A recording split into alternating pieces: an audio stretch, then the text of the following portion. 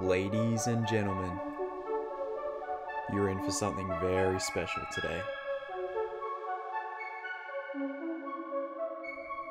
I'm zoomerjd, bringing you another exclusive interview.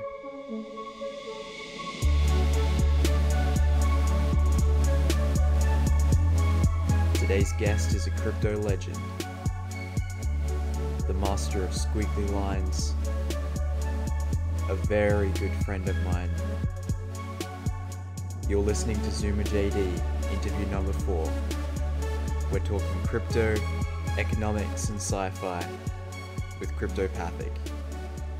How you going? Hey, uh, thanks for having me on. I'm, I'm good. Cool, man.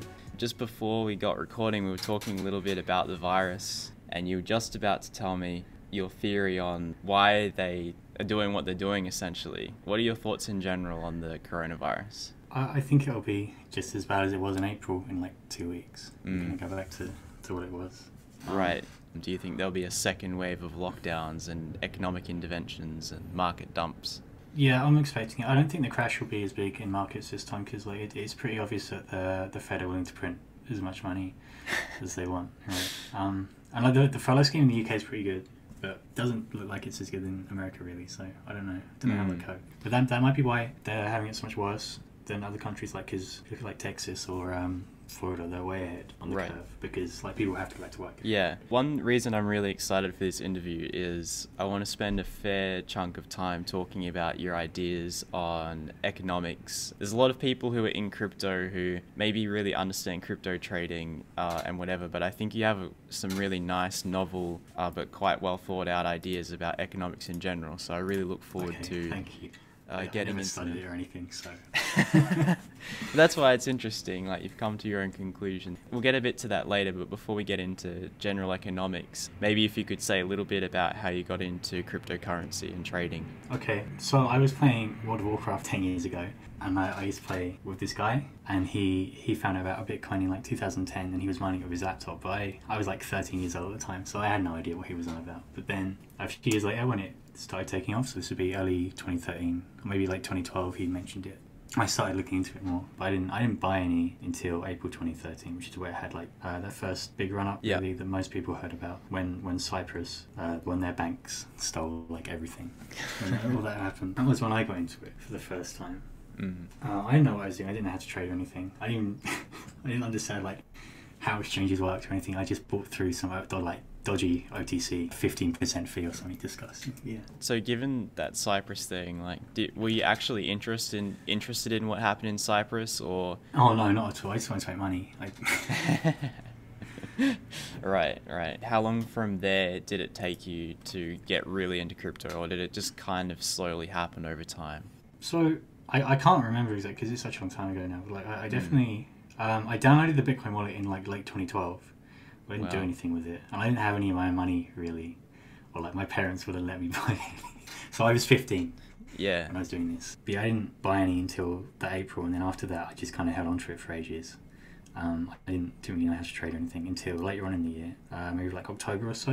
I Mhm. kind of figured it out, took an interest in it again, and then that was just before like Silk Road went down, and then all coins blew up for the first time on uh, Cryptsy and Yeah. BTC and all of that. Um, and then like seeing all those price movements, I was like, wow, I can actually make money with this. So I started paying more attention to it. I remember from the um, the Loomdart interview, he said that there was some point where he decided that he was an entrepreneur because he made made so much money from trading uh, Oh. that it could be a legitimate uh, lifestyle.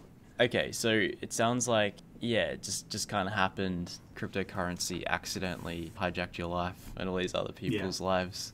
Yeah, well, I, I was already interested in, in trading somewhat, but like obviously I had no way of doing because I was only 15 years old. I can't sign up for a broker or anything, Yeah. right? So Bitcoin was like the only route I could do it with real money, and like I'd um I'd run bots on World of Warcraft for like sniping auctions and like undercutting Ah. people and stuff. So I had like a basic understanding of how markets work. Yeah. I didn't really, I but like I didn't really know real financial markets, so it, it was I really enjoyed it. It was Mm. like, hey, I can use my money to make money, and didn't really it meant I didn't have to get a job or anything. Yeah, So- I, I- I don't know how early this would have been, like maybe 2014, 2015. uh, I remember there was like these big rushes after Mount after Mount Gox, like the price really crashed uh, when Mount Gox got hacked, and then eventually Bitcoin went sideways for a fair amount of time. It was like the first big sideways move, and all of the people who'd been trading it a lot decided to get into like forex and stuff on Twitter. Uh, And there yeah. was this big thing where everyone was like, you know, if you're a real trader, you should be trading everything, not just crypto. And everyone was trying to trade all this other crap. And um, I was like, stuff this. Mostly because I was under 18, I couldn't get the account. So I was like, Yeah. you know, I couldn't even do this if I wanted to. But I remember thinking that was really bizarre. Yeah, um, if you have an edge in the market, just stick to it. There's not really. Mm. Yeah. But you, I think you would. Uh, I think, seem to recall you dabbling in forex stuff like way back in the day. Um, I never really got anywhere with it. Right. I did try, but yeah, it didn't Yeah, so definitely like uh, just going on with the fad. okay, and then how would you say your trading style and how you approach things has changed over the years compared to when you first got started and, and today? Like, do you still trade as much as you did back then? Was there like a Uh, peak or? Uh, well, I think I, I definitely used to go all in with my money back then, but like that was because it wasn't like a crazy amount of money. It was like, okay, well, I'm going to get rich doing this, so I'm just going to go to uni or whatever, right? So Mm. it didn't didn't matter too much if I lost some money, so I could afford to use like all of it. Right. I don't do that now because it's like a more serious amount of money. Um, so I'm more diversified now. I definitely take longer term positions, but things don't move as quickly as they used to. So I suppose that's why. Yeah, right. What do you think about the crypto market in general? As in, for example, you just said that prices move slower now, the markets are slower in general. Why do you think that is? Well, it, it's all become sort of more efficient in a way. Like people know all coins can do crazy things, right? So you have more people trying to buy the bottom, and then when it does pump, there's so many people in profit. They they know they want to cash out Mm. sooner. And like it, it's all people know all of these things that happen, so they're they're ready for these opportunities.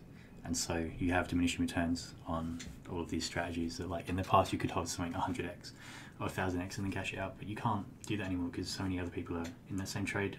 Mm. So it's uh, it's hard to get those same returns. Yeah, okay.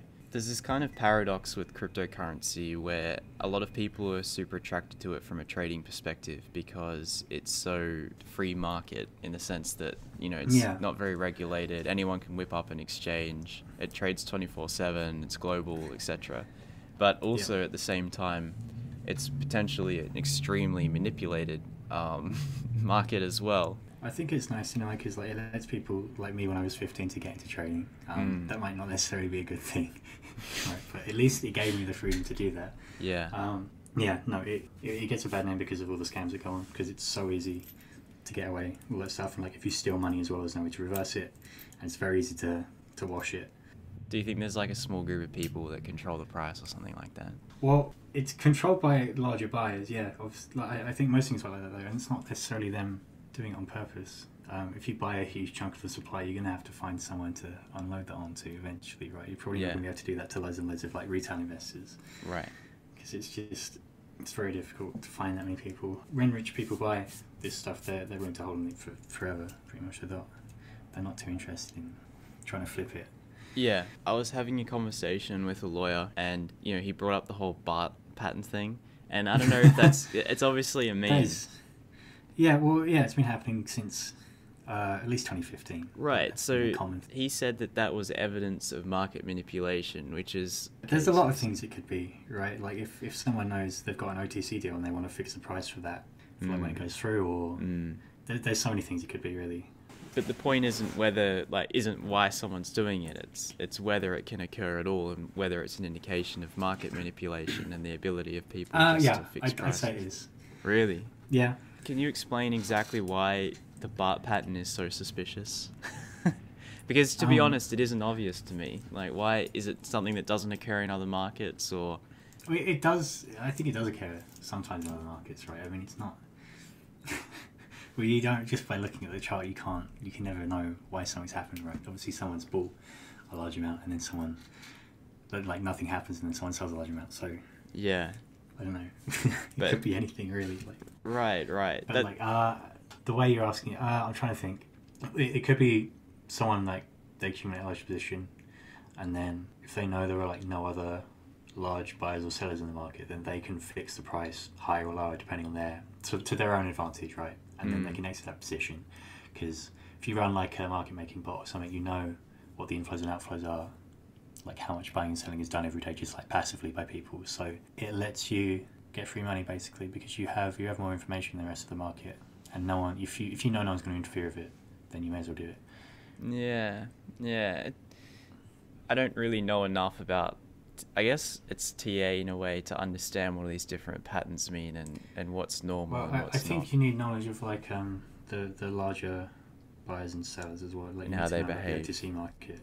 Mm. Like if if you know no one's willing to sell at a certain price, then like you can move the market price to that, and then get all of the the retail and like algorithms to buy right. your bag and then dump it back down. And yeah, it, it's it, I mean it, like there are so many things it could be that I don't think it's worth speculating really, but yeah. Yeah. Essentially, someone figures out that they can make money by moving the price like that, and then they try it. Like they might not even make money. You don't even you don't even know if they make money, right? Well, exactly. So I think this is that's a really important point. So maybe it's not a surprise that there is so much, maybe not manipulation, but attempted manipulation, you could say, because it is a free market.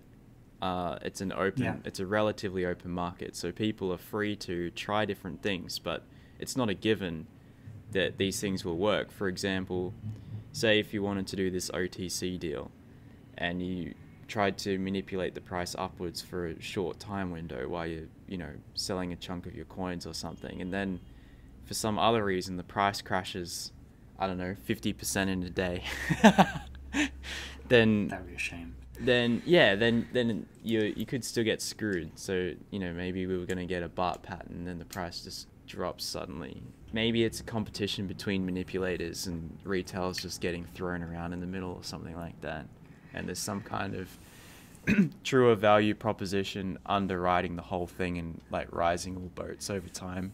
Yeah, well, if you just you know hold longer term, it doesn't doesn't matter if you there's a bar or. Right. It doesn't.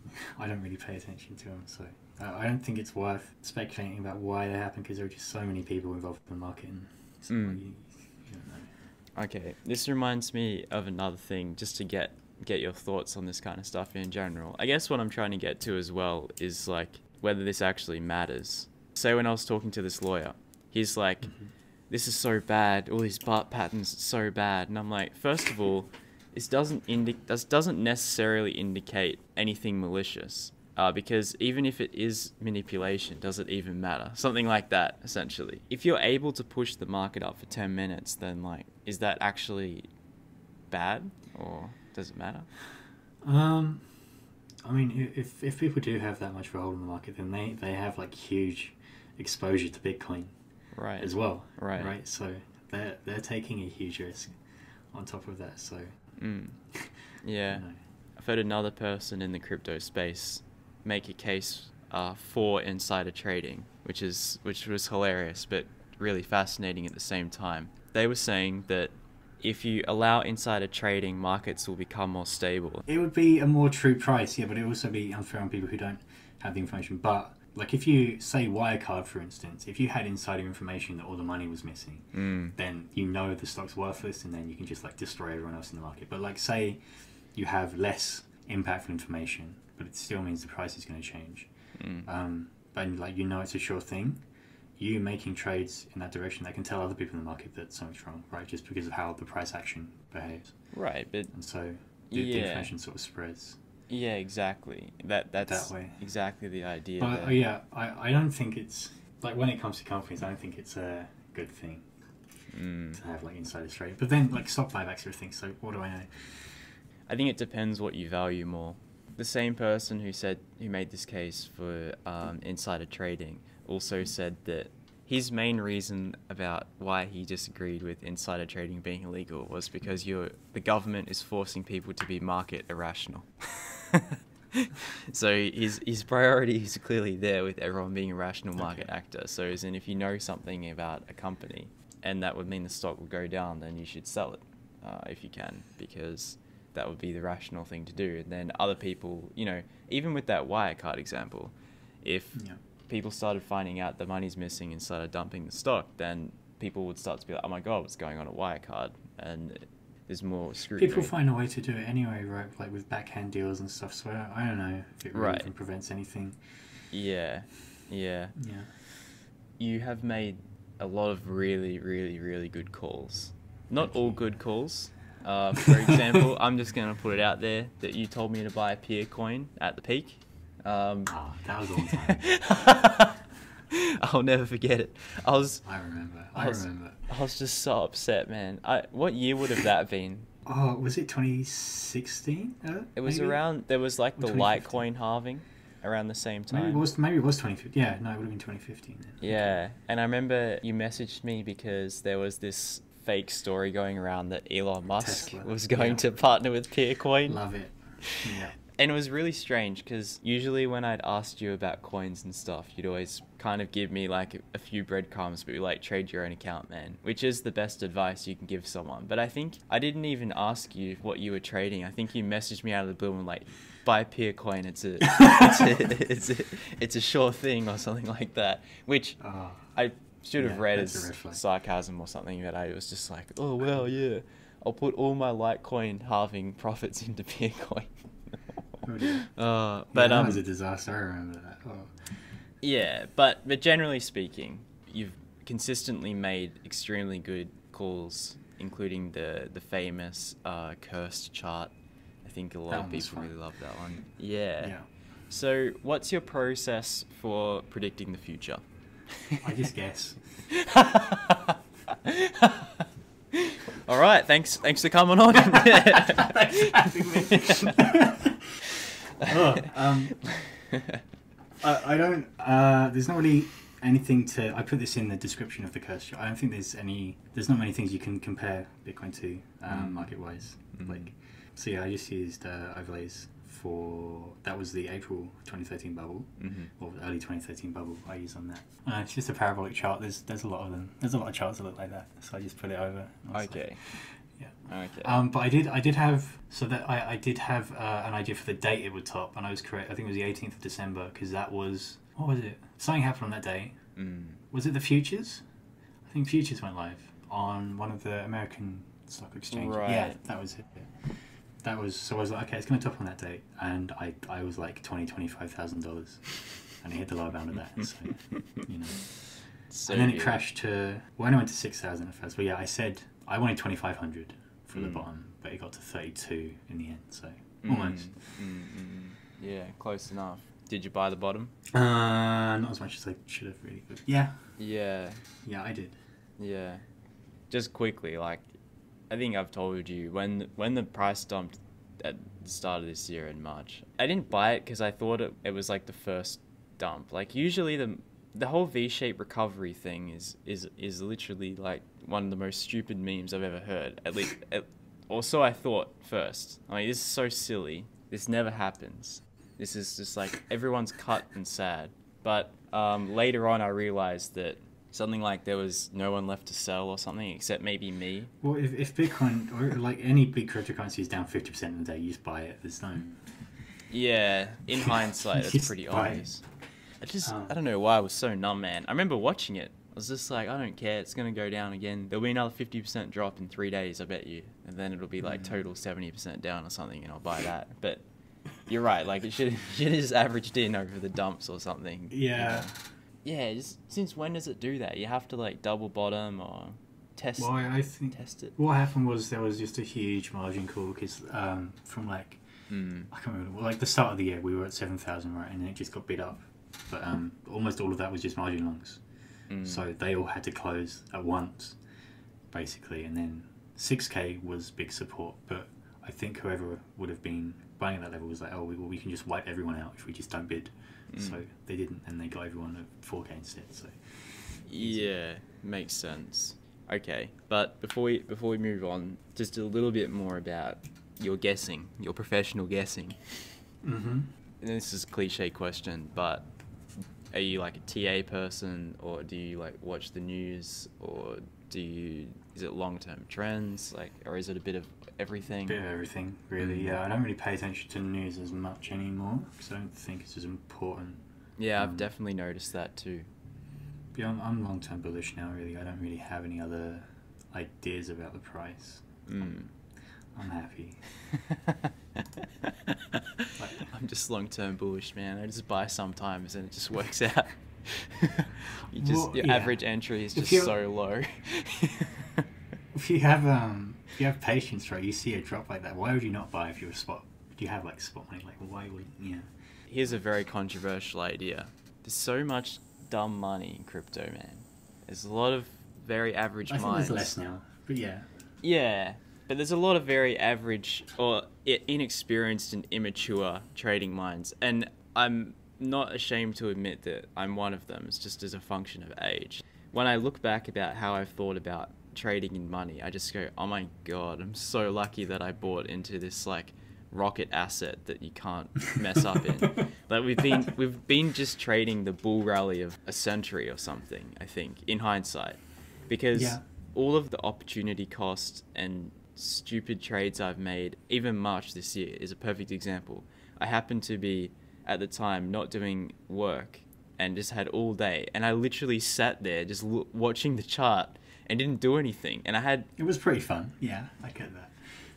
but and I wasn't even like numb or freaking out. I had a lot of Bitcoin, but I didn't sell it, and I had a lot of cash as well, and I, I just didn't do anything. I just watched it and was like, oh, it'll come back down again, and I'll buy it later, and then just watched the V-shaped thing happen, and, and never never changed my mind. Only Yeah. literally like in the past couple of weeks have I gone like, oh, maybe it's not going to come down, which makes me think that it will come down now. but yeah, there's like a lot of pretty average minds, but it's okay. It's like we're all amateurs just trying to figure this thing out. But th- this is why like the most basic ways of working win, like just holding coins long term, just yeah, buying don't dips. get owned leverage trading. You just you're good. Yeah, exactly, exactly. Okay, so would you ever sell all your crypto? Uh no, because I've reached a point where I'm happy to just lose money on it, Mm. like long term. I don't mind. Like I, there's there's definitely points where I divest some, but I wouldn't. I'd never sell all of it. There's not much point. Right. So there's, I guess, there's a couple of ways of looking at this. First one is the financial aspect, as in like, would you sell Yeah. your crypto for financial reasons? But you've kind of just said that's wouldn't happen. Yeah. But there's also like, for me, I've got this personal thing where sometimes every essentially I've had a few times in my life where I've tried to move away from crypto and do other things because it's been Yeah. such a big part of my life, at least since I was conscious. As in, I think I first came aware of crypto when I was like 14, and then you know, just it's just kind of sucked a lot of my energy and time up, um, which has been great. Like I've obviously it's changed my life for the better, but sometimes I go like, I wonder if if I want to do something else with my life, if I have to like actually untangle myself almost completely. Maybe that's a silly way of looking at it, but I sometimes I wonder guess if that's it true. helps you focus, it makes sense. Yeah. Mm. Yeah, because then you have to think about the price. You have to check it every 20 seconds. Um, Yeah. it can be stressful. Yeah. But I, I think if you if you have an amount of money that you're you're fine losing, then that shouldn't really be a problem. Mm. So you just like downsize until you get to that. Really. What if you what if you had to sell your crypto? Where would you put it? Oh, probably more in gold. Yeah. I've I've been buying more gold recently, um, Ah. and uh, probably some stocks as well because I just print money forever. Mm. Can't lose. Literally cannot lose. Yeah. Um, Yeah. Oh man, I I got into gold as a road to crypto. Like I, I bought gold before I bought crypto. yeah. There's a little gold shop a block away from where I am right now, and that's where I used to go in and, and buy like little packets of gold. And I, like when I was 15, I'd go in and like try to talk to the person behind the counter about like gold bug theories and stuff, and usually be some like early 20s chick. Just she'd be like, "What? What are you talking about?" I just I'm at uni, man. This is just my part-time job. Have you heard of uh, like Mike? There's like this gold bug Mike someone, Mike Maloney or something. I don't know. He had this YouTube channel, and he'd always be like, you know, the next currency war is upon us any moment. And then so I'd go into the gold shop on the weekend. I'd travel in from my small town on the bus for like two hours, buy some gold. be like, did you see Mike Slater's YouTube video? Yeah. Oh my god. Ah, yeah, it was very yeah teenage brain. Never been to a city before, but yeah, yeah, gold gold's fun. It's just, it's just Bitcoin for boomers, isn't it? It's, Yeah, it man. doesn't move enough to be exciting. I mean, there's something attractive about Bitcoin and as like this hedge against you know the world lo- Yeah. imploding or something, and then gold is the same thing, except gold's like physical, so the computers will blow up or something. you still have your gold. I think we'd have worse problems, but yeah. mm. Do you think it's too late to get into crypto?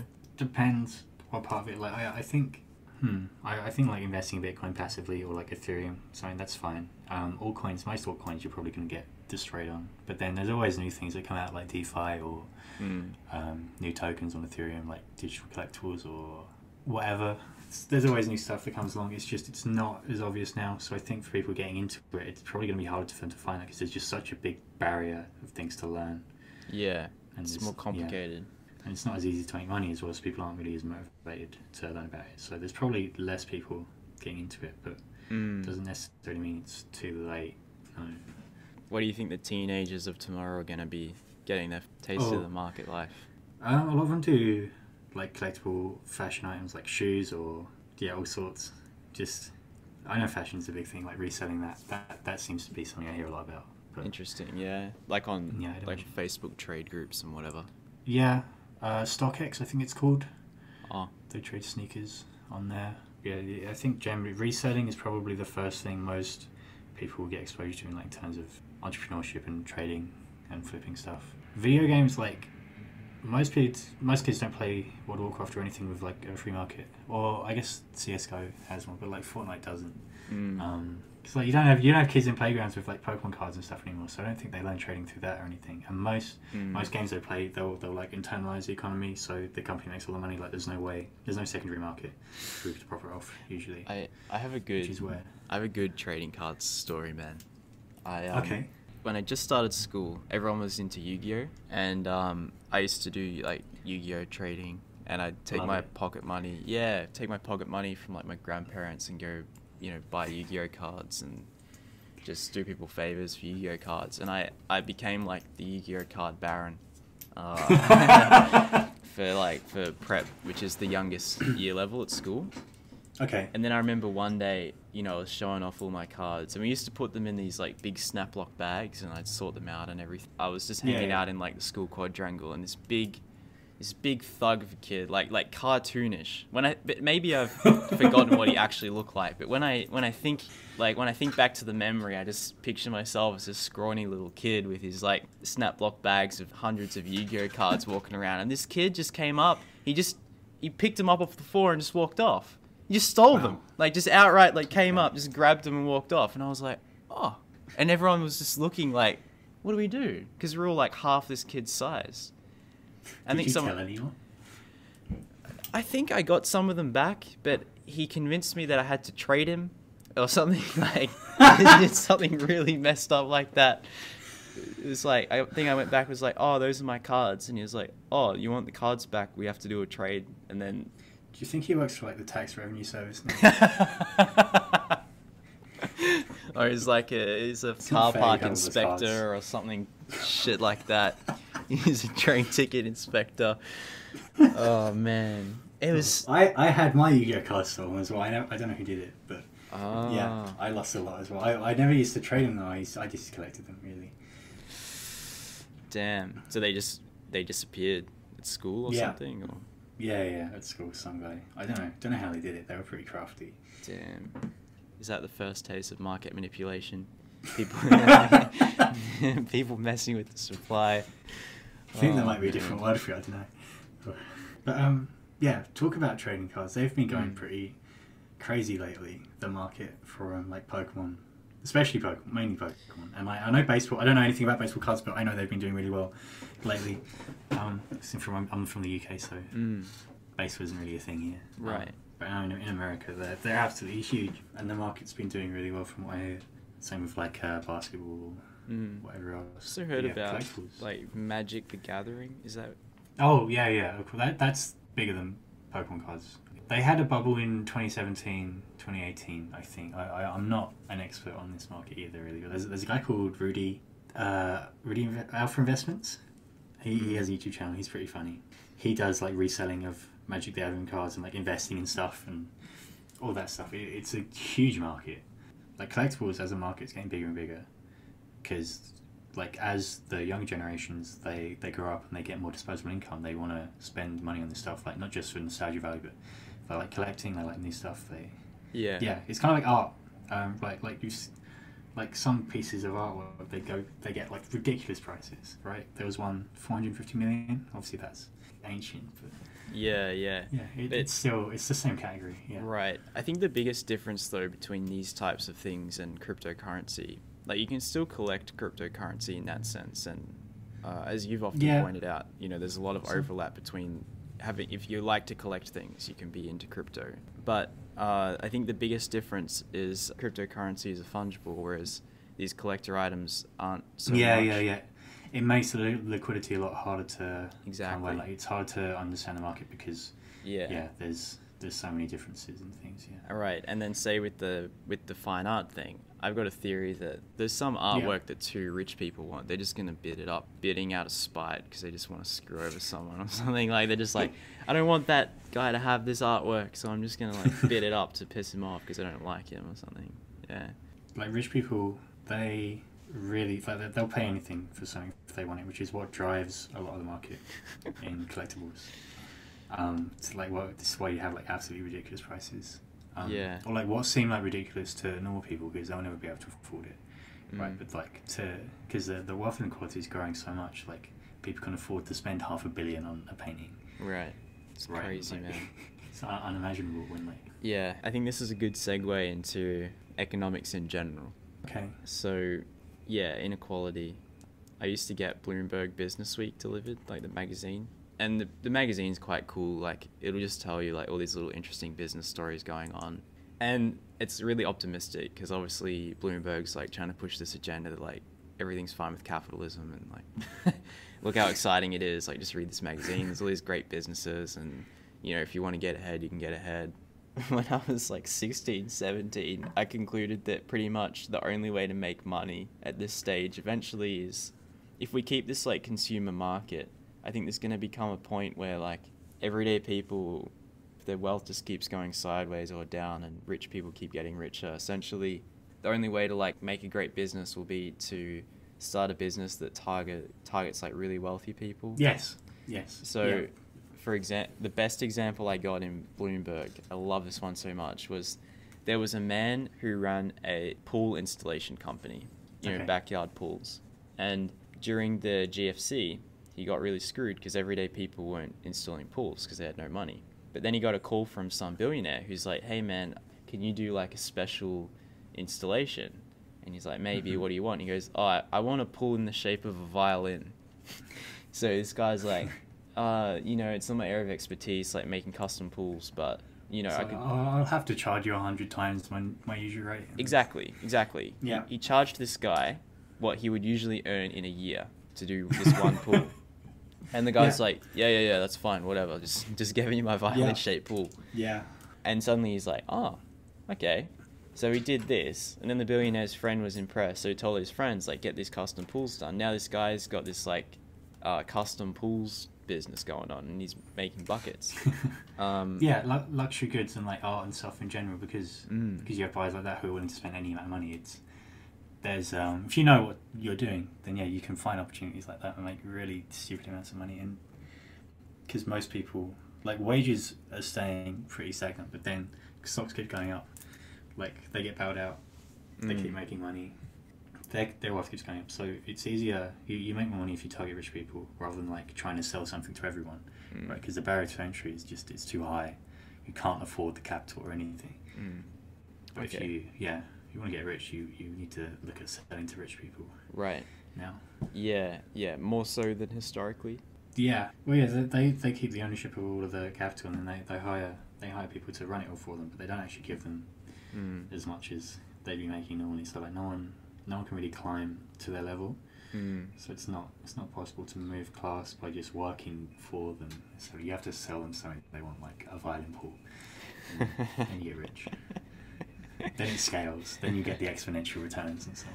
We don't need a revolution, man. Just make violin pools, dude. Then we can have a peaceful transfer of wealth. Just do like hundreds of pools. Uh, Yeah. well, the um when when Bitcoin blew up the first when it went to like thirty two dollars back in twenty eleven, most of that buying was the Winklevoss twins. Right. The money they got from Facebook. So like, that that was kind of the same thing, right? Because they they've seen Bitcoin, like, oh yeah, we'll have that. And I, I- most of the most of the buying Mm. you see is from just the individual large investors. Yeah. Like, that's what makes a difference. If you if you catch one of them, then you're sorted. Mm. Okay, so just so we can kind of frame this discussion on economics, I know you've humbly asserted num- a number of times that you're not an economist, but I think it's cool. It's like just before we start this conversation, and it's like that meme, like first of all, I'm not a rapper, then Oh. just like start spitting fire. first of all, I'm not an economist, but Okay. what is the purpose of economics? Like, what are we trying to do? That's a big question. Do you want me to write your essay? well, I, I give you I give you as much time as you need, but as in, I, I think it- it's more like in general. How do you think about this? Because we live in an interesting time as far as you know rising Yeah. wealth inequality. We've almost got this like I think I believe with the level of intervention that's happening in markets, especially in finance. Um, I I believe it's entrenching corporate elite essentially. Yeah. Um, and businesses are taxed less than people, so right. They end up yeah. All these other things. Yeah. they just do share buybacks, and it's yeah. Right, and like businesses pay pay tax on their profit, and people pay tax on their revenue. Depends where you live. Yeah. Yeah, so there's all these problems like that, but they're not necessarily problems. It depends on. But yeah, generally it's getting it's getting less equal with like wealth distribution because people with it are just accumulating it so much. It's why like the the older generations have so much wealth compared to the younger ones, even like at the same age. Older millennials have nowhere near as much as boomers did when they were the same age. It's because like the appreciation of assets has just increased so much. But a lot of that is based on um, an increasing population, which isn't necessarily happening all over the world anymore. Like that was Mhm. Keynesianism is kind of like predicated on that. Right, It's like okay, well, as long as population you've got a growing population, then you can just kind of sort of hand it to the next generation. You don't have to worry about it, right? Because you, you'll be dead by the time it. Yeah, Comes yeah, around. yeah. But I, I think we're probably reaching a point where, so with coronavirus, you're, you're seeing lots of government handouts and so on. It's sort of uh, universal basic income, and people, like a lot of people are unemployed, but doors kind of still turning. Um, maybe not so much in America. So okay, People are realizing they don't necessarily have to work as much as they do, or they're realizing they can work from home. Yeah, it, it's interesting what will happen, like if it's possible to actually sustain unemployment at that level without the world imploding. right. It's just a big experiment, really. So we, we don't know what's going to happen. Um, but Yeah. I, I think people will be. People don't like wealth inequality, but they'll be more okay with it if they don't have to work all day for like no reason, Mm. really. Because like as, as we get more automation and so on, it just it becomes unnecessary. So I, I- I think I, I guess I have a fairly optimistic view on everything. I, I don't think there's going to be like a huge revolution or people starving or anything. I, I think we'll, we'll sort it out with automation and um, yeah, universal basic income of some sort. Say if the goal is social stability, and that people's basic needs are provided for, then wealth inequality doesn't matter, really. You know, unless Uh, unless yeah, it makes things some degree, unstable. right? Like, I, yeah, well, I don't think people are going to um, have a revolution about not not being able to go skiing twice a year or something, right? So Mm. obviously they're going to have a revolution if they can't eat. Depends what part of the economy you're subsidizing and. Well, I, I don't know. I don't know if maybe people would have a revolution about not being able to ski. Because- because I've never been skiing. Yeah, either have I. But like, I- I guess the point is like about you could call it luxury activities. You know, not having access to luxury stuff because Yeah, people yeah. are very easily envious. I, so my I've got a theory that envy and desire are very powerful things, and I think we're not we're not as aware of our envy as we are of say greed. So we've managed to kind of hijack greed to make that work to some social benefit. I think having competitive markets and Yeah, all yeah, these that's things. true. It gives people a way to get what they want without having to commit violence. Right, exactly. And then exactly, man. So then if you have consumerism, which is like just cop it's just copying people pretty much. It's so much based on like peer pressure and, and advertising where you like look at someone and go like you're supposed to feel insecure and, and falling short unless you copy what you see in the ad. And as long as the economy's growing and the amount of resources available are growing and people can keep buying stuff and we can mass produce things, it's okay. Everyone can have Colgate toothpaste, everyone can have the latest clothes, you know. Everyone Yeah. can, can get that envy fix. But I reckon if you turn off the, the supply and you keep turning up the pressure on people to be envious. People could just flip out, man. Yeah, maybe. I, I don't know. I, I'm not sure it's that big of a deal. Yeah, I, I'm going to have to think about that more. I don't Well, making it a little bit more concrete then. We were just talking about how you've got this unprecedented economic intervention from governments with, you know, people getting their salaries paid by the government. Is it foreseeable Yeah. that they just don't go away somehow? No, I, I think that they're going to do their best to try and rein it back in because otherwise they're going to have to keep bailing out companies.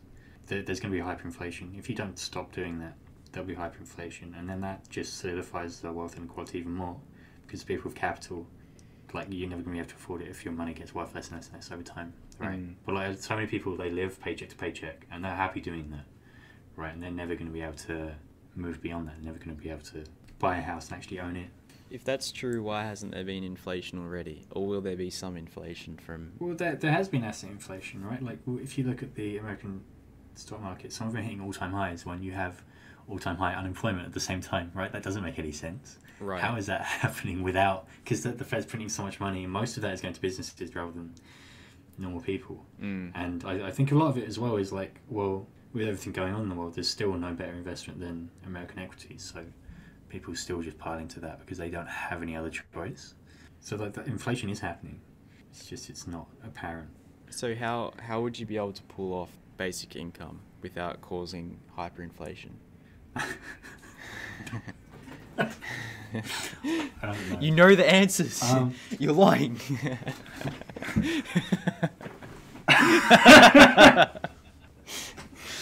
Um, well, yeah, you just have. Well, no, you wouldn't. You wouldn't be able to really, would you? Uh, you'd have higher inflation, like targeted. Um, but no, it would just. This is what I'm saying, right? It would Mm. cause hyperinflation, and you'd never be able to move to like an upper class because, it would be like extremely difficult unless you sold something to a rich person. Got it. It just makes it more and more difficult Right. So so you, you could potentially find because a assets way. get worth more. Yeah. So you Yeah. could potentially find a way to provide for people's needs without them working, but essentially the cost of that is we're going to entrench people where they're at pretty much. Yeah, yeah. I, I think like you, if you had like hyperinflation, well, you could move. You could just. Actually, I don't want to say anymore. I don't know. Oh come on, man. We're just spitballing. No, no one's gonna hold you to account. Someone's gonna like come to your house, like you said, mate, that we figured it out and we tried it. Some guy from like the treasury or something. I'm sure. I'm sure there are books out there that explain it much better than I do. Okay, so what do you think about this? I don't think that even if we could do it, it's a good idea. Or because people get too lazy, or It's not that. It's just you know, there's like this idea of being too reliant on a system or something. You know. yeah. Well, I, I guess like you need something in your life to like work towards as well. So that would that would change a lot. But Mm. it, it could be something. Well, it, it's difficult, right? Because you don't necessarily need it to be something that's um, sit on the, the hierarchy of needs, right? You don't have to. Yeah. You could just be a trucker all your life and be happy, right? It's not a big deal. Right. I think paradoxically, often people something to work for. Yeah, and people but people often say that you don't there's no correlation with happiness and wealth. And I think that's because a lot of the basic human satisfaction comes from actually getting Yeah. your needs from working. Yeah. covered. Um, Yeah. It's it's not it's not the holidays. It's not the it's not the ski trip. It's actually putting food on the table, putting a roof over your head. If you get a sense that there's a direct connection between driving a truck or working in an office, whatever it is you do, and, and getting the basic needs covered, that's what's satisfying People to a lot like being people. productive. Yeah. Yeah. I think a lot of the people who are creative enough to envision a world where there's basic income are bright enough to figure out how to keep themselves happy and occupied even when they have Yeah. their basic needs met. And they don't realize Yeah. that if you just give a guy a check and say, like, this covers all your food and stuff, a lot of everyday people are going to be like, hang on, no, I, d- I don't want this. I want to drive my truck, man. But this is this is also why there's an interesting phenomena where a lot of working class people will like elect economically conservative governments because they actually don't like the idea of like social welfare. overworked. Yeah, Um, yeah, like, but they'll be like, I don't Yeah. want, I don't want more social I welfare. I some- want There's some sort of attitude towards that, yeah. But Or if you just, if you just, if you're a politician and you go into a neighborhood and just yell, jobs, jobs, jobs, like people will just vote for you because you're gonna make more jobs, man, and that's that's what makes people happy and that's what people want. I feel like with basic income, people have rushed to trying to figure out how to do it before they've answered what exactly we're trying to fix there. yeah, that's true. Hmm. One of your unhinged, completely uneducated economic ideas is that we are in a abundance economy. Post abundance. Post abundance, Uh, sorry, yeah. We'll just explain exactly what you mean by that. It means people have all the things they need, uh, and like they don't need to struggle for anything really, like resource wise. Like they don't need Mm. to work for food or shelter or whatever. Okay, so the question that the post abundance thing ri- rises is raises, sorry, is Yeah. what should people do then? If you don't need to work to put food on the table and a roof over your head, what are you going to do all day? Uh, it gets pretty political when you get into this, I guess. Yeah. Um, Is it it though? is interesting. Well, yeah, because you can start talking about like child policies and that, right? Because Mm. if everyone has as many resources as they want, then like, can they have as many kids as they want? Mm. Mm. How does that affect things? And like, yeah, what, what do people do with the time they don't have to work? There's so many things. Right, but see, I'd say a higher percentage of our generation is playing games, and I think we're better. We're better at like filling time than older people are. Like we. Yeah, that's definitely true. We definitely have more things to do, especially like on our own. I guess like people, Mm. they're happier just staying in all the time. So maybe we're more. We're already more adjusted to like. Maybe this. Yeah, that that would make sense, but I don't. I don't think it's that fulfilling to do that necessarily. Compared to Uh, work. I don't. It's very it's very complicated. I don't. You wish you were driving a truck sometimes, mate. Just put put the VR headset on. Do Euro Truck Simulator. Hell yeah, man. Oh yeah. So, I'm originally from Australia. I've lived in Belgium and the Netherlands and Hong Kong. Yeah. So I've experienced a few different ways of doing things. Hong Kong's like fully libertarian, very small government. Is it still? Well, it, it's changing very quickly, uh, especially on a social level. But historically, it's extremely libertarian in, in some ways. I mean, Okay. they've got this Yeah. messed up land system. So, like, there's this entrenched land tycoons. But my point is more that, say, if you talk to. I used to argue with this guy from Norway when I lived in Belgium. Mm-hmm. Because Norway's like the perfect country. It's got this perfect system. It's impossible to become homeless. Everyone's wealthy and whatever. And I'm like, yeah, but you've got this massive system. Society is like very rigid actually, but it's supposedly working, so it's justified. But I think in the in the Anglo tradition, America really took it to its most extreme. There's this idea where we don't really have a strong the like a social s- structure or system, and that's to protect the idea that people should be allowed to try to figure out the world for themselves or something. Like that's kind of precious to us.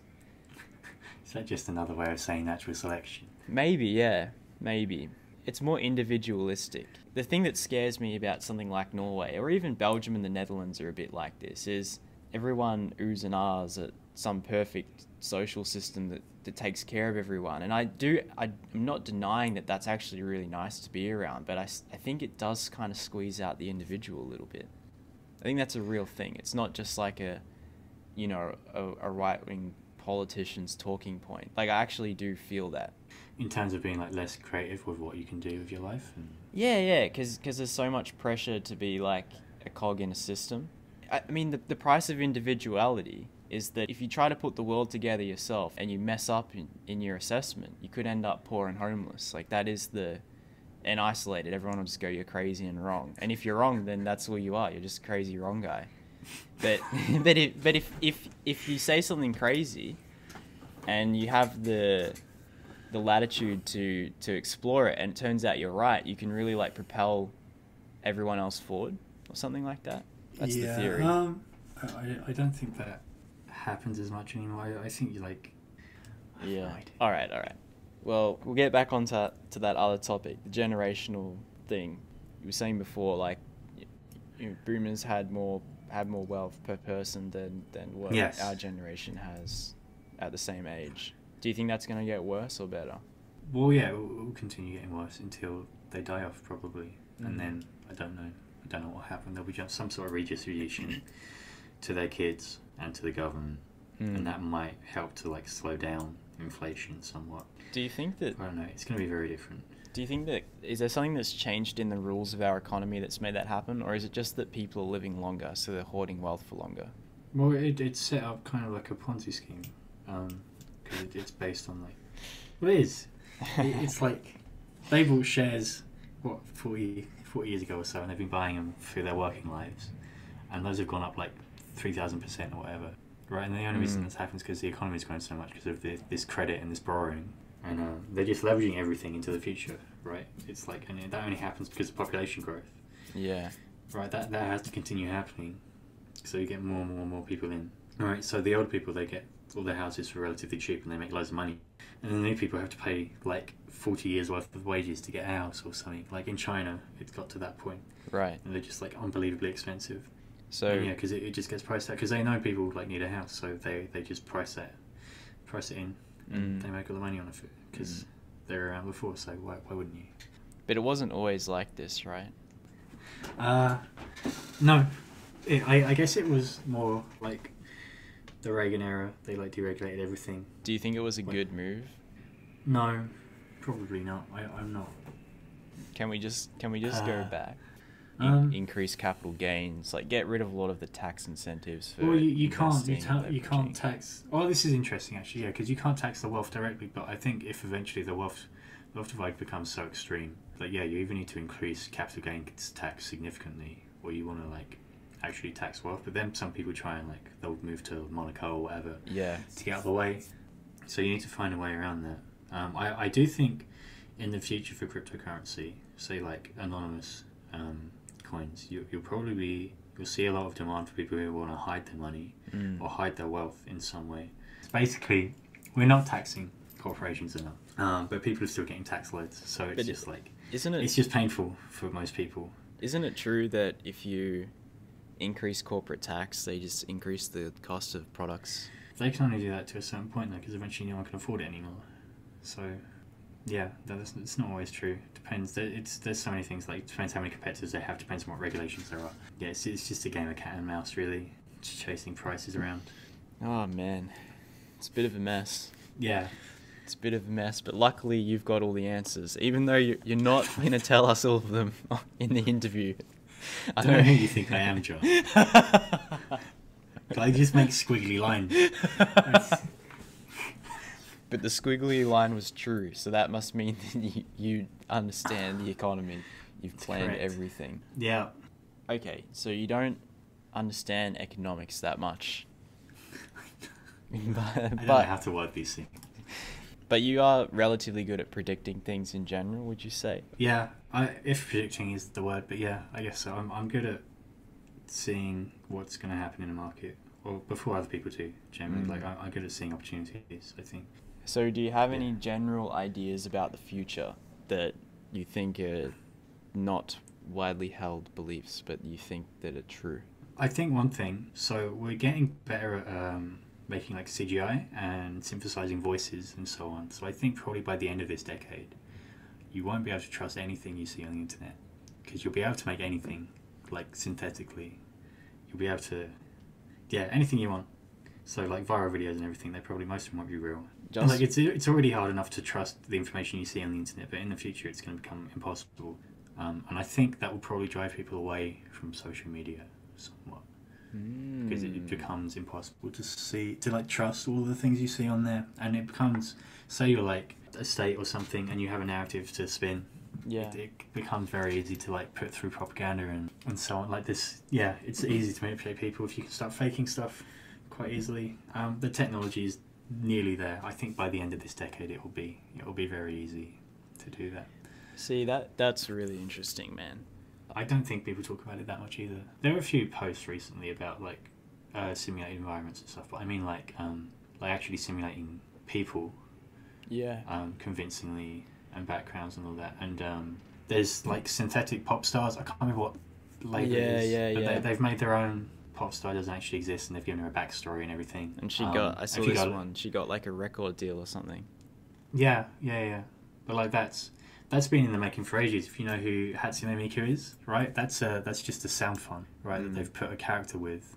There's a lot of these. They, they sound very similar to real people. Like you can modify them a lot, but like by the end of the decade, it will be impossible to tell the difference between one of them and a real person. And then like if you have AI on top of that that can actually simulate a conversation, then you'll be able to make fake people on the internet like so easily. Yeah. So people will probably socialize mostly with people they know then. I- As in personally, no, not as in I know the celebrity. Yeah. Uh, like I know I'm Yeah, no. talking to you because it's like I hit you up on Telegram and messaged you, and then we got on a call. So I know I'm talking to. Name and address withheld. yeah. Oh, sorry, I'll cut that out. uh, the real cryptopathic, um, or maybe I'm talking to a fake one that's an AI hijacked this like interview and then taught itself how to sound exactly like you, and then started going around just talking to people. Yeah, I, I think that's probably like the closest thing that'll blindside people. I think. I think there'll be a lot of things that happen in the next decade that don't actually happen. Shit, man. That that is a super interesting idea, and I think it's a slam dunk. Because I've had a similar thought um, about how you know how everyone freaked out in the last U.S. election about Russian interference. Yeah. I'd be more offended just at humanity in general if other countries weren't trying to interfere in, in your election. It's so easy to manipulate Twitter and social media discussion. Yeah, the, the especially you? in like the the West more than the East, right? Because China has their, their internet kind of locked down behind a firewall and so on. It's Yeah. difficult to access and it's difficult to go out with it as well, right? But Yeah. then the West is like completely open. So if you're Yeah. a foreign state and you want to interfere, like on social media, it's so easy. Right. There's all this ruckus about it, but people fundamentally haven't don't really understand like what the actual implication is there. As in, say you get all these politicians on TV and they're like, Trump needs to tell Putin to stop it. Actually, the whole thing's just changed forever. We're never Yeah. going to go back. You can't actually guarantee now. There, there's so much garbage information out there, and if you link like it's already making people do things like people tear down 5G towers Right. because of the stuff they see on Facebook. Like that's just the beginning of it. Like that's not even good. Yeah. it's not even convincing. Yeah, You can actually like disprove it scientifically, but like it's going to go so far beyond that. Yeah, so it's just that's just the new paradigm. Like you can't Mhm. you can't fight that. You have to accept it and then figure out what to do. But asking your president to fly on a plane to Russia to tell someone to stop is not the solution. Like that's not going to do anything. Say it was Russia. Next Okay. time it might just be some random people just for fun making massive bots. Well, I, I think that's what it was last time anyway. Right. Yeah. That that's why I said, you know, say it's Russia because I actually think it's a mixture of it's a whole mixture of things. But people like to attribute it to someone. That that's why I also think it's so ridiculous to be like, oh, you know, someone go and talk to Putin. It's like, oh yeah, is he gonna stop some random dude sitting on his computer all day just like writing misinformation manually? It, Yeah. There's people in America doing that. So you're right. Like the technology to make that possible is only going to get more and more prevalent. But that actually gives me a lot of hope. We already have so much misinformation anyway. It's just that people don't realize it or they don't Yeah. really understand it, especially older people. yes. Or, There's already fake info, but if the fake information becomes completely fake and real fake, as in, you know, I can make a video of a, a politician saying anything I like and it's completely Yeah. indistinguishable from a fake video, at least then for boomers and stuff, they can look at that and hopefully go like, oh wow, look, there's a lot of fake information out there, you know, rather than being like, I just spent an hour on Facebook and I believe everything I saw there. But So- yeah, it's going to be a big like generational divide as well. I, th- I think kids, Mm. younger people will probably figure out they can't trust all that stuff, but it, it will probably mean people move away from platforms or they have stricter rules on what can and can't be posted. I wonder if boomers will do something weird. Like, say you're like a grandparent, and you, you want Mhm. to talk to your grandkids, but your grandkids are like, "No, I'm too busy." so you you can like train an AI. you know, like you can just call your grandkids and talk to them about like whatever, and it'll just like That's it'll kind of scary. churn their like social media so it can talk to your grandmother about what you've been up to and stuff. Oh well, there's you can do stuff like that with like you can meet like a dead relative in VR or something. It's just so freaky. Yeah, I heard about this. we're going into a very strange world. Mm. I actually think old people might do something weird like that, but I think young people it could actually be good for us. Force us to Back into the real world. Yeah. back into the real world. Get Because we have our devices on us all the time anyway, right? If they evolve to have like AR and like glasses and stuff, then you could just have this stuff Mm. constantly being like bombarding to you. So we'll see how far it, it gets, I guess. Like Yeah. how bad it gets. yeah. Um, but then that'll that'll probably open up like a whole whole new market of things to trade Mm. and do and Right. so on. So Okay. opportunities. I got a couple of ideas on this. So one of them is about economics. Uh, with Mm-hmm. VR, it's a nice way to continue consumerism without jeopardizing the entire environment. Because Okay. if you can just consume digital goods, then you know you can you can consume as much as you like and you can produce as much as you like, but there's there's no impact on the environment. Yeah, well, it, it depends how realistic it is, right? So I've got a Valve Index. It's a Mm. great VR headset. The sound on it is absolutely flawless. It's amazing. Um, you like you can't distinguish it from the real Is it It's- wait? it's Is this are these headphones or is this one of those like? It's a it's a headset and they're headphones on it. okay. The headphones on Oh, the okay. headset are just like they're they're perfect. But Mm. um, everything else is nowhere near that standard. Um, like the Vision, if you see advertisements for it, it's never as good as the advertisement normally because like Right. yeah, not only do you need like a really good computer to run it, but then the resolution isn't as high, the refresh rate isn't amazing. So, but it- it's good, but it's not it's not like convincing, Mm. like real life convincing, and it will be a very long time before we get to that. And then on top of that, you have things like touch. How do you have how do you simulate that? That's probably not going to happen for a very long time. Yeah. Like I, I don't see how.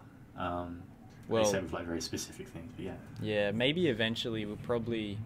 I got a feeling on a long enough timeline, essentially you skip the VR shit. Uh, you actually have you don't have like a physical device on your hands or head. It, it just would just route it straight into your brain somehow, like Neuralink style. Okay. But I think it. Yeah, that could be another way. Yeah. Yeah, I, but I have I have high hopes that in the long run this could be really good for the environment because we could essentially human beings have this need to build stuff and we're very creative. Like we like to create Yeah. things to look at and play with and and the problem Well, is yeah, we got all the kids playing Minecraft, right? They made so much stuff in there. yeah, you yeah, know, yeah, so- That's a good Yeah, point. like- yeah. Imagine if they'd all Yeah, use see what you Lego instead, how much extra plastic there'd be in the world, you know. Maybe It's true. They're saving the environment. I mean, it's just Yeah. trying to put a positive spin on it, I guess. Yeah, yeah, yeah. You're right. one iteration of this could actually be if you had a game need to talk about that. Yes. yeah if you had a game where you have like virtual goods inside if you had them all on a blockchain then That's okay. That's uh, this is a big thing to talk about. So that's actually been attempted. There's something called Wax. yeah So, yeah that's the one Um, and there's lots of there's lots of other things that are attempting this as well with ERC 720 tokens. But so CS:GO skins, huge industry. One of the biggest gambling sites got shut down by Valve. Well, it wasn't it was an exchange, but they also did gambling, which is really stupid. So they got shut down, and Mm. then everyone's skins on the site got banned with the site's bots because it was it was all stored on their bots. Um, so they said, okay, you haven't actually lost your skin, so we're going to make a blockchain called Wax Token or Wax Chain or whatever, and we're going to put them on there on the blockchain. But you can't actually move them around within the Steam system, so they're worthless. Right, but they're like, oh, well, you can move them. You, they're decentralized now. They're on a blockchain, but they don't actually do anything. So they, they had this whole thing. They tried to set up. They tried to do that, but like it, it, it needs to work with the game So It needs to actually work within like a system. So you can have things like CryptoKitties or whatever else, but like they're not really worth anything if you Mm. can't display them. There, there's a new like VR open world thing that's on the blockchain that people play, but like they're never they don't take off because it's only for people who are like into collecting and just Yeah. this tech stuff. Like it's not a proper game. Whereas like with CS:GO, the reason the skins are absolutely huge now Mm. is because you can like flex them in game and there's like whole communities around it. It- It's about incentives as well. So like if you want to decentralize this stuff, like yeah, it's a good idea, but then the developers they're always like the people who make the game, they're always going to be centralized. Like how many games out there are like decentralized games, right? It's not Mm.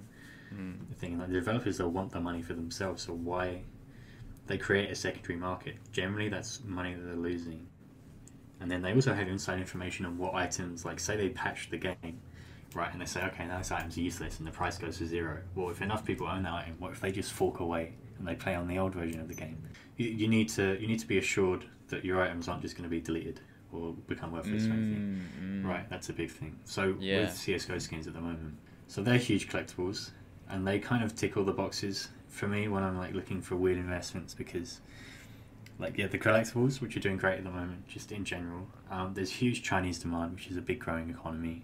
So you have all the money coming in from them, and then yeah, you have this market that's open to kids as well. So you have all these rich kids buying these things. They're luxury goods, so you're marketing to rich people who will pay anything for these things. So you can get stupid prices on some stuff.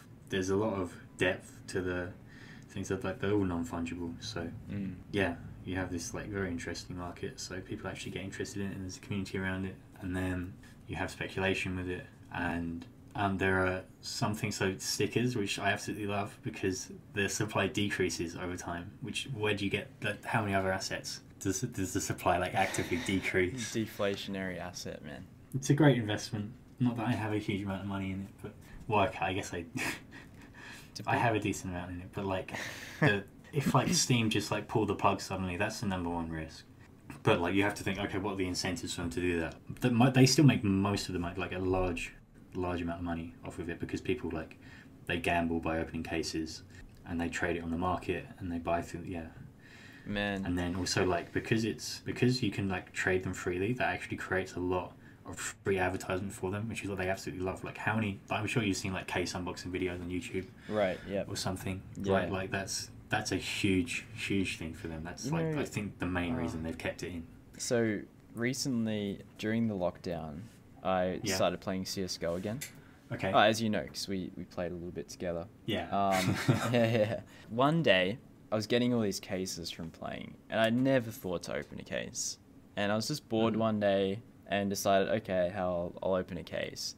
And then next minute, I'd open too many cases and spent quite a lot of money. And I was like, Oh, what dear. the hell just happened? That was so stupid. Yeah, this is a big thing, like the gambling aspect of it. A lot of countries are cracking down on it. They don't like it. Yeah. They're, they're banning it. But then Steam, they found this loophole where basically they sell you an item Mm. that tells you what's in the case. But because you have to buy that item first to see what's in the case, you're effectively paying for the case before you open it. It's, it's a stupid loophole. Wait, so if you see the.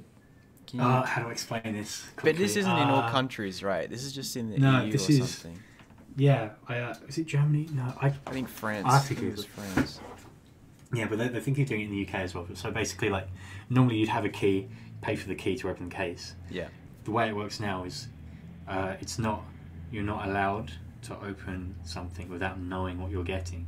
So Mm. they said, okay, now you can't open cases unless you buy this X-ray scanner, which tells you what's in, in the case. So you buy this one this one-off item, the X-ray scanner, right, before you can open a case, and you still have to buy a key as well. But you know what's in the case before you open it. But you Right. can't. You, they only tell you for the first case. So if you want to open another case and get something different, you have to open that case. So you have to spend the money, Right. and that gets around the law, which is the dumbest thing ever. Such scammers, man. Yeah. Scammers. I don't know if you have um in Australia we call them the pokies. Uh, like casino machines. Like you Uh, you just put money in, push a button, does like the Yeah. whole like classic the the Yeah, yeah, symbols are rolling and if you get the same symbols you get money. So it's a huge problem in Australia. We have Okay. these pokies machines because most pubs will have them in a corner. You hear these like things in the background going Bright lights everywhere. Yeah, yeah, yeah, yeah. And man, it's it's really crazy. I've done it a couple times when I've been at the pub with friends, and it's kind of fun. Complete waste of money, but it's easy to think you're better than this kind of thing until, say, if you, yeah, if you drink a little bit, so you just become a bit dumber, and then you realize how like it's just psychology, man. It's just human mm-hmm. psychology. If if you are biologically human, you're probably susceptible to these machines what shocked me about the CS:GO unboxing thing was it was exactly the same except it was way more expensive. Po- Pokey machines are supposed to be like the most rotten curse, and I'm like, damn, these unboxing things are like more expensive. Um, Yeah, well, the- the reason they get so much demand is because you can sell the things that you get out of them and like potentially make money, right? Whereas like yeah. you can't go on Fortnite and gamble money. You can't go on whatever other Mm. game and do that. It's, Mm. it's it's a huge thing. Well, this has been a super, super good interview. Even though you. you've kept your economic cards to your chest. What cards? I'm convinced. I'm convinced we're talking to a future, future chancellor of the of the UK. uh, but just to finish up, an easy one. Area of your expertise, undisputed. I was just trying to think of like a super complicated like economic.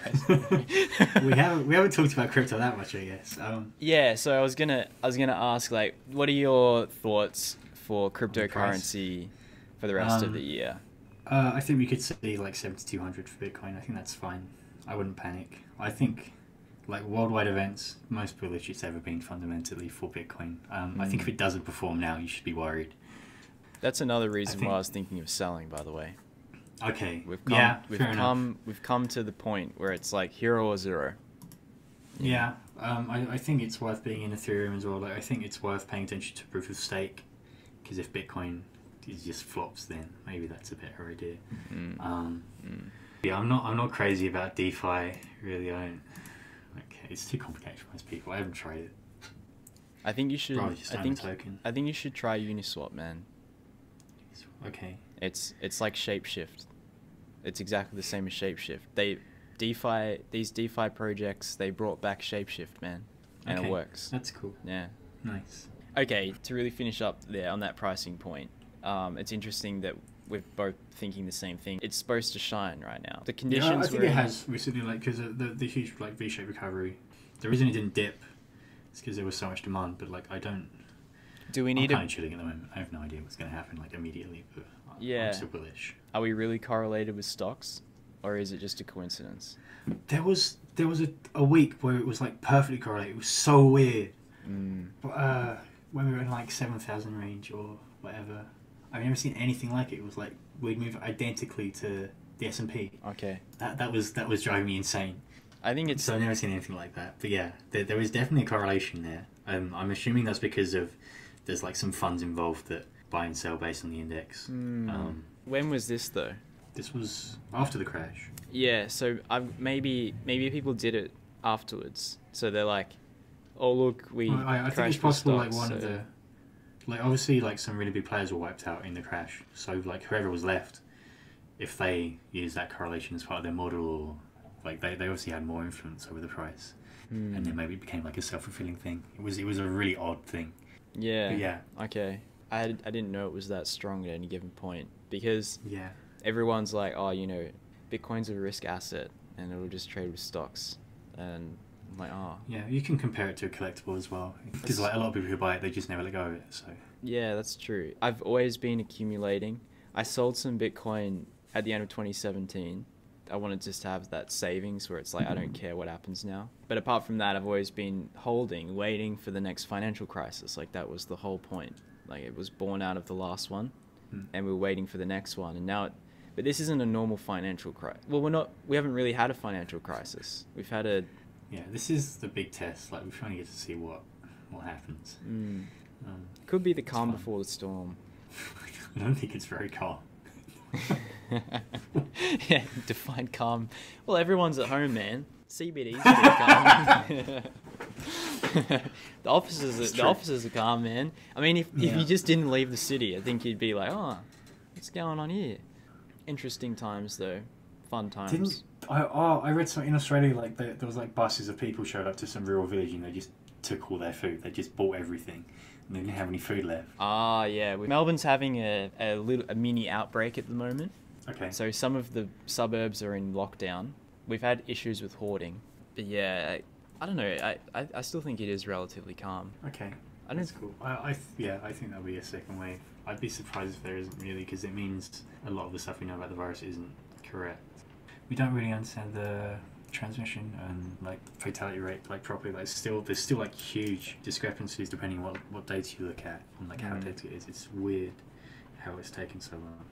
Yeah. Um, Well, 5G is a new technology, so it doesn't surprise me that we don't understand. we gotta go take them down. It's funny when you said about 5G, I just pictured there was this video going around on Twitter of like a walking tower thing. I don't know if you saw Oh, that. yes. Yeah, yeah. And everyone's tweeting like, wow, the 5G towers are actually pretty weird, eh? uh, anyway, man, this has been really, really good. Thank you. Thank you. Uh, I enjoyed it. Thanks. That's awesome, man. Hopefully, you can come on again later um, when you Yeah. when you've uh, clarified your your economic. I've written a book about this stuff. come back to show your book. I get I get it, man. You're just saving all the ideas for the book. All right, good stuff, man. Yeah, thank you.